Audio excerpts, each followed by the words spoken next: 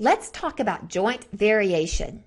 Joint variation describes a situation where one variable depends on two or more other variables and varies directly with each of them when the others are held constant.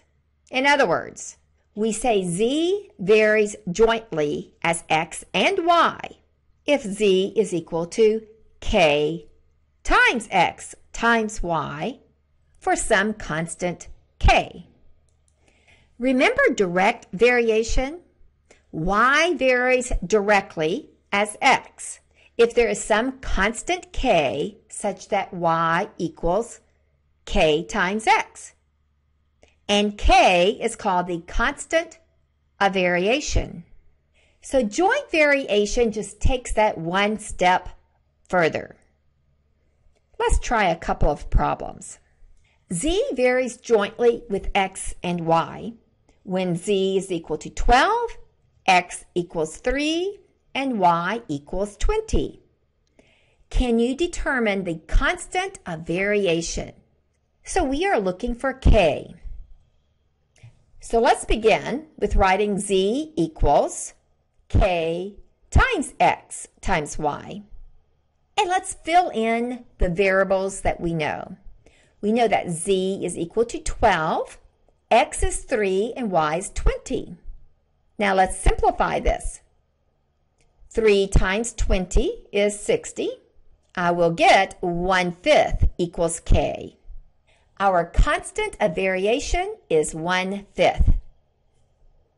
Suppose z varies jointly with x and y when z is equal to 28, x equals 7, and y equals 6.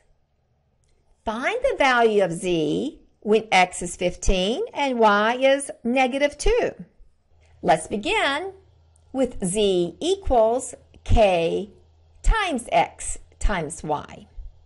Because remember, it said z varies jointly with x and y. Well, I need to know k. Well, I do know that when z is 28, x is 7, and y is 6. Let's simplify this. 7 times 6 is 42. In order to solve for k, I will divide both sides by 42. I can reduce this, and I will get 2 thirds equals k. I have my constant of variation. So let's use this to solve the rest of the problem. We know that z varies jointly with x and y. So I have z is equal to k times x times y. We have found the constant of variation, the k, is equal to 2 thirds. So the problem wants me to find the value of z when x is 15 and y equals negative 2. I will fill in the variables that I know and z will equal negative 20.